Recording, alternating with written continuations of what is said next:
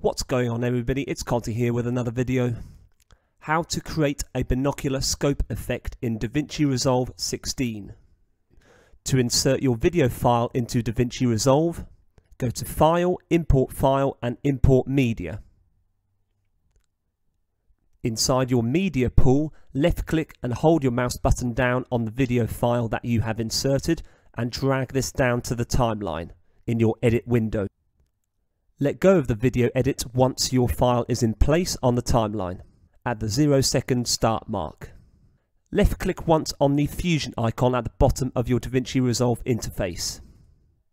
Under Nodes, left click on the Media in 1 box and drag this towards Media Out 1 box, shifting the keyframes window out of the way where necessary so that you can see both these two nodes on screen. Left click once and you should see media in 1 and media out 1 present on screen. Left click once on the media in 1 node. Go to select the ellipse tool above the node window. Left click once. Alternatively press shift and space on your keyboard and type in ellipse in the search box to find the same tool and go to add. Left click once you should now see a third node appearing above Media in 1 on your DaVinci Resolve interface. With this new Ellipse 1 node selected, go to Inspector, Tools, Level should be set to 1, Filter Fast Gaussian, Soft Edge I'm going to double left click on the box with the 0.0 value and change this to 0.02. This will create a faint appearance on the circular outline of your binocular scope. Border width is 0.0, invert unticked, solid ticked, the center X is 0.5, Y is 0.5. In order to enable room for the second half of the binocular effect, I need to shift this circular image to the left slightly.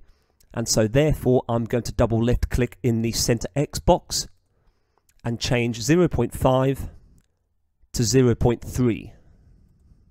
Width is 0.5, height is 0.5. Should you wish to change the size of your binocular scope, simply increase or decrease the numbers in these two value boxes here.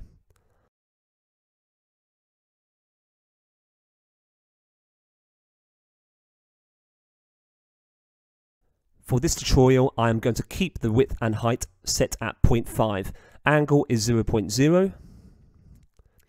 With the ellipse 1 node still selected, press shift and space and insert another ellipse tool to your node window. Left click on add once.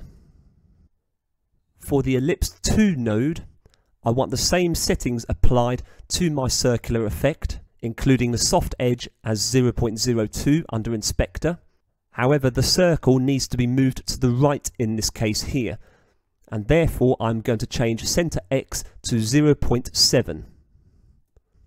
Press enter when you're done. Both of my ellipse effects are 0.2 away from center X, 0.5. The first ellipse is at 0.3 and the second ellipse is at 0.7. Return to your edit window to check to see your binocular scope effect. This may take some time to load depending on the computer that you are using for editing. Thank you very much for watching. I hope that video was useful to you. If you enjoyed the video and wish to be notified about future uploads on this channel, please like and subscribe. Join me soon for another video. Take care.